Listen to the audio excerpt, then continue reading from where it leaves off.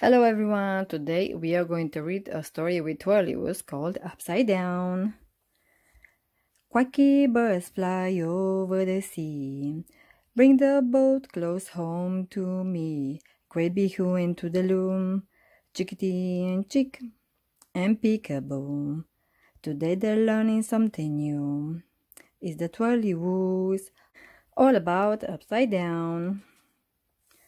Hoot hoot, off they go through the cloud to an art gallery. Hmm, the pictures don't look right. Can you see why? The pictures are upside down. This is upside down too. Everything is upside down.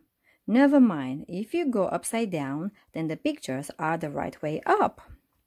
Back on the big red boat, Peekaboo is upside down too. Knock knock, is somebody at the door? Is the very important lady. La la la. La la la. Oh dear, she's falling apart. Can you put her back together, Twirlywoos? Yes, but oh dear, upside down. Try again. Has Great BigHoo got it right? That's better. Time to go, Twirlywoos. Great Big Who, Toodloo, Chickedy, chick, and peekaboo. The end. Thank you for watching. I hope you enjoyed the story. Don't forget to like and subscribe. More lovely stories are coming every week. Bye.